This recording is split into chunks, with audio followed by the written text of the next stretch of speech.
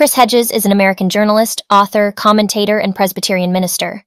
He was a foreign correspondent for 15 years for the New York Times and won a Pulitzer Prize in 2002 for his coverage of global terrorism. He is also a vocal critic of Israel's policies and actions towards the Palestinians and has written several articles and books on the topic. Hedges views Israel as an apartheid state that practices ethnic cleansing, war crimes, and collective punishment against the Palestinian people. He compares Israel's violence to the Nazis' treatment of the Jews in World War II and argues that the Palestinians have the right to resist with arms. He also accuses the United States of being complicit in Israel's oppression and enabling its impunity. He believes that the only solution to the conflict is a one state democracy that grants equal rights to all citizens, regardless of their religion or ethnicity.